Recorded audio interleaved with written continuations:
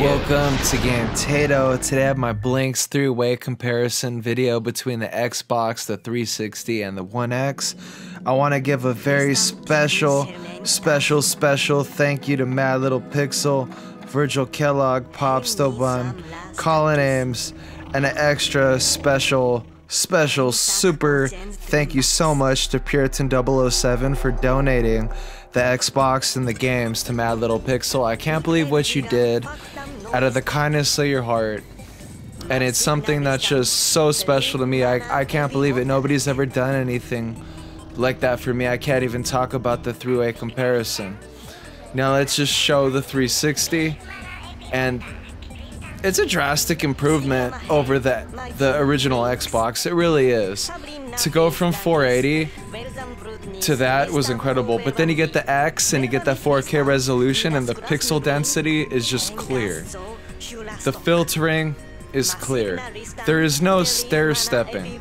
And then you go back to the original Xbox and you just get this bluttered, muddled mess and it just looks terrible for today's gamer. Like Xbox is bringing all these old games from 2001, 2003, up even up until 2005 and really updating them to the 2019, 2018 standard that PC gamers have come accustomed to. But they're doing that in the living room and this is stupendous. Now let's get that comparison between the X and the 360 and then let's get them both out of here with the One X, please. Actually, let's get that three-way. Because you can see the clarity in the text. It's unbelievable. I don't even know what to say what this team is doing. I could I could say the same thing about every video, but whatever. I'm just more blown away by Mad Little Pixel and Puritan 007. You guys are heroes. I've been working my butt off, learning all this software, and I've been doing everything I can to try to improve. And you guys just I don't even know what to say. You guys are incredible. This game is incredible. I'm so glad to be playing it on a modern console. Let's get that 360 down there in the right spot so we can have some kitties. Now, Mad Little Pixel, in your video, some person, I'm not going to mention them, but they said I wasn't posting enough cats in my videos, so I thought this 3A comparison of Blinx the Time Cat would be the perfect cat video.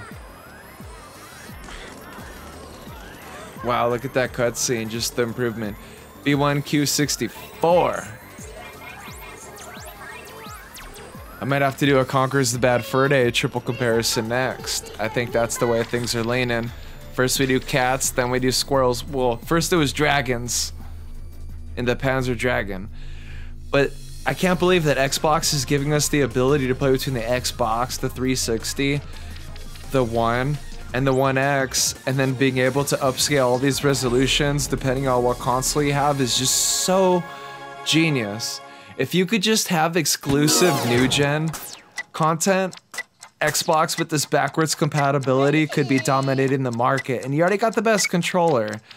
I'm sorry, like the DualShock 4 is a very good improvement over the DualShock 3.